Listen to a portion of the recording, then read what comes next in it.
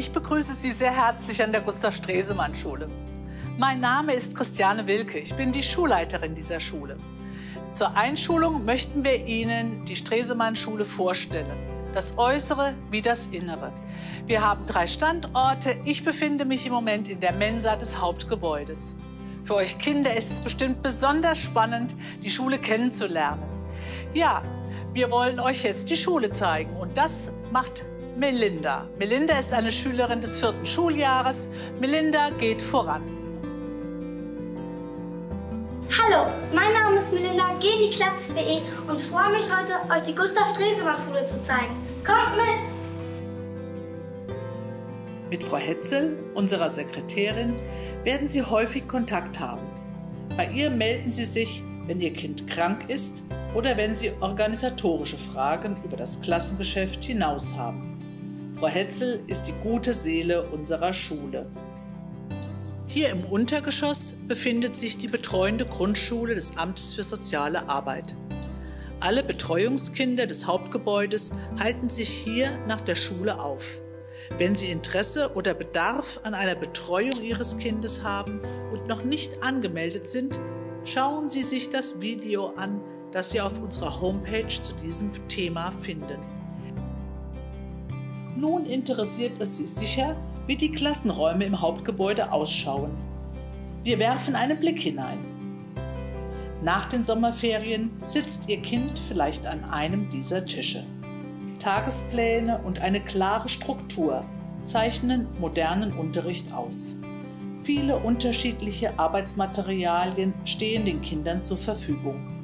Da wir in Hessen Lehr- und Lernmittelfreiheit haben, werden die Bücher für den Unterricht von der Schule gestellt. Sie werden gebeten, besondere Arbeitshefte und Materialien anzuschaffen. Hier sehen wir Frau Wand. Sie ist eine unserer zukünftigen fünf neuen Erstklasslehrerinnen. Im zweiten Stock befindet sich unsere Aula. Hier wird gefeiert und Veranstaltungen jeder Art finden hier statt.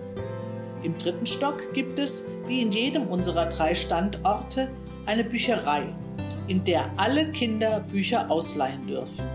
Wenn Sie als Eltern Interesse daran haben, in der Bücherei mitzuarbeiten, melden Sie sich bitte unbedingt direkt nach der Einschulung im Sekretariat. Die Bücherei existiert nur aufgrund der Elterninitiative. Leseförderung ist ein wichtiges Thema unserer Schule, so wie jede andere Form der Förderung uns ein dringendes Anliegen ist. Wir beschulen alle Kinder des Ortes Mainz-Kastell. Jedes Kind mit seinen ganz eigenen Fähigkeiten und Bedürfnissen ist uns willkommen und es wird entsprechend unterstützt und gefordert, denn jedes Kind ist besonders. Dies ist unser Grundsatz und unser Auftrag. Wir verlassen das Hauptgebäude mit einem Blick auf das Minifeld. Es ist heiß begehrt bei den Fußballspielern und davon haben wir an unserer Schule eine ganze Menge. Wir legen viel Wert auf die Selbstständigkeit bei unseren Schülerinnen und Schülern. Als Eltern müssen Sie uns hierbei unterstützen. Ihr Kind trägt den Ranzen selbst zur Schule, wenn möglich übt es jetzt schon den Schulweg und es kann alleine oder in einer kleinen Gruppe zur Schule laufen. Wir arbeiten schon sehr lange und intensiv an den Themen friedliches Miteinander und Aufbau von Verantwortungsbewusstsein für jeden Einzelnen und die Gruppe. Klassensprecher und Klassenrat sind Trainingsfelder für ein demokratisches Zusammenleben. Kinder unserer Schule können sich zu Schulsanitätern ausbilden lassen. Wir haben ein Motto des Monats. Dieses wechselt monatlich. An unserer Schule gibt es eine Schulordnung, die uns sehr wichtig ist. Bitte lesen Sie diese mit Ihrem Kind vor der Einschulung noch einmal gut durch. Sie finden sie auf der Homepage und wir werden sie Ihnen in Papierform vor den Sommerferien zuschicken.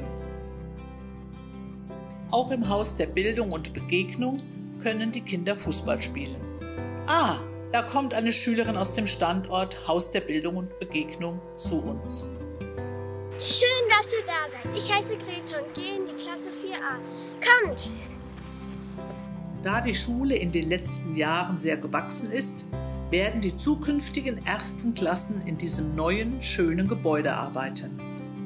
Die Ausstattung der neuen Räume gleicht den bestehenden Klassen und unsere Kolleginnen und Kollegen freuen sich bereits auf die Arbeit mit den Erstis. Technisch sind alle Schulstandorte der Stresemann-Schule bis zu den Sommerferien auf hohem Niveau ausgestattet.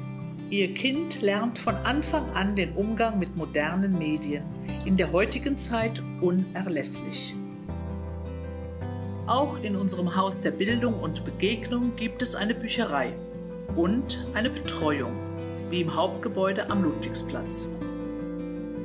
Zum Schluss wenden wir uns noch dem kleinsten Standort unserer Schule zu. Klein, aber fein, so möchte man sagen. Auch hier werden wir von einem Schüler begrüßt.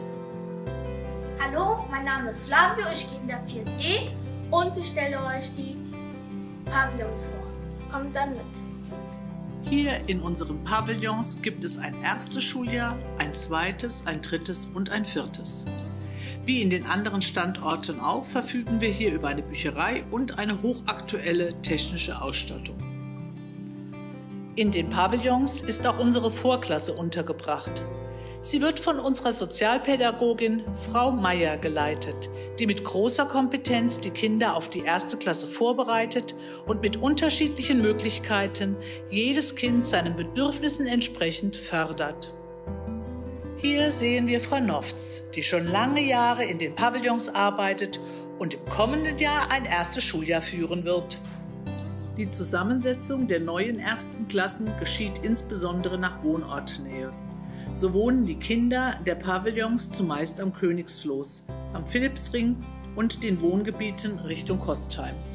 Bevor wir unseren Rundgang beenden, will ich gerne noch ein paar Worte über die Einschulung selbst verlieren. Pandemisch bedingt werden wir wieder sechs kleine Einschulungsfeiern jeweils mit einer Klasse durchführen. So die Planung. Sie bekommen eine persönliche Einladung mit den genauen Zeiten kaufen Sie Ihrem Kind eine Schultüte für diesen Tag. Im Schulranzen, den Ihr Kind mitbringt, sollte das neue Mäppchen und die Postmappe sein. Alle anderen Materialien bringen Sie bitte erst im Laufe der ersten Schulwoche mit in die Schule. Bleiben Sie gelassen und vertrauen Sie Ihrem Kind. Gemeinsam werden wir in gutem partnerschaftlichem Miteinander die kommenden Jahre der Grundschulzeit meistern. Auf euch Kinder freut sich das Kollegium der Gustav Stresemann Schule.